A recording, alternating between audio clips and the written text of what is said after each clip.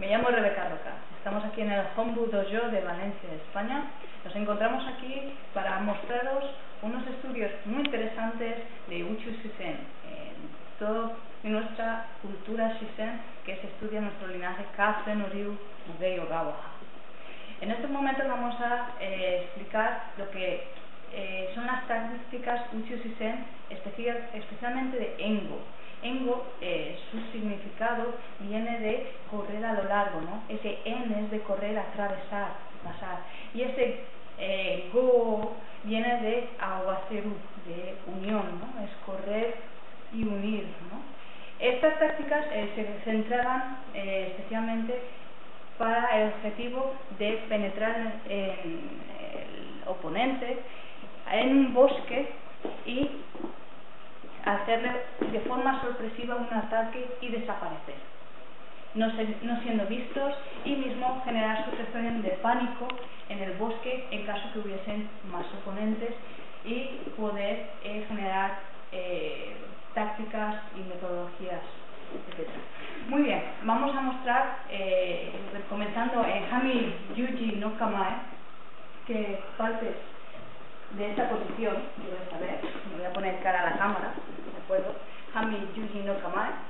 En esta posición eh, vamos a desplazarnos eh, forma directa al oponente, en este caso vamos a utilizar que Oscar Monsalve, eh, que es 2-8 de aquí en la Escuela de Valencia, muy buena Oscar eh, va a atacar de Mako, nosotros nos colocamos en el Kamae correspondiente, en este caso voy a llevar el un tanto, me lo voy a poner al frente para que eh, los reflejos, especialmente lo que era que no se viese la lámina y mismo los reflejos por la noche, entonces no dejando ver eh, nuestra arma y que estuviese escondida.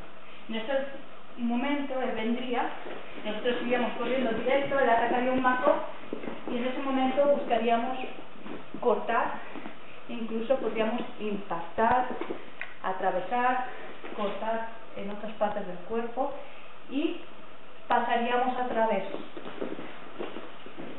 dando oportunidad a encontrar otros objetivos o simplemente eh, generar pánico o desaparecer. Muy bien. También hay estudios que también se podrían usar piedras, suseki o mano de piedra, etcétera, etcétera. Y podríamos utilizar o piedras que estuviesen en nuestro entorno o podríamos con la mano desnuda hacer estos mismos ataques. En este caso, procederíamos igual, de la misma forma.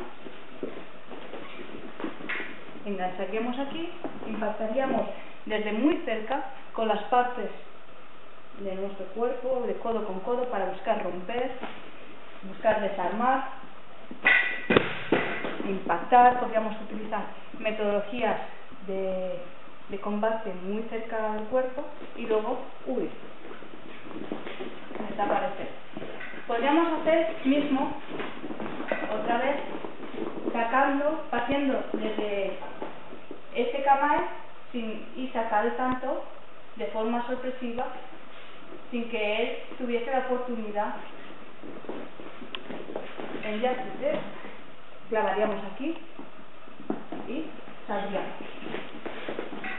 Estos estudios y muchos más eh, son eh, el legado eh, de la cultura Shisen de nuestra escuela